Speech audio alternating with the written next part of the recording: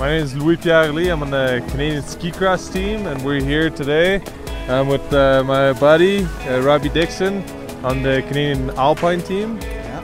and uh, we're just having fun today at Lake Louise. We we didn't expect to have some powder and, uh, And and the sun and sunshine, and then Gorgeous. we been skiing knee deep all morning, so it's been a lot of fun, definitely.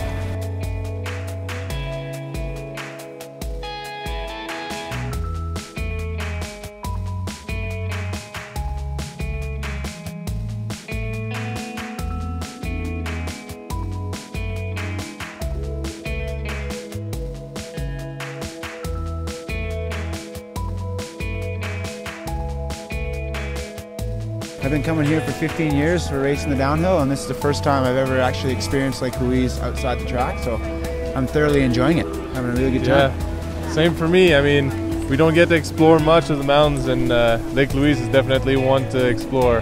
Beautiful. Beautiful. Absolutely beautiful. Having a great time.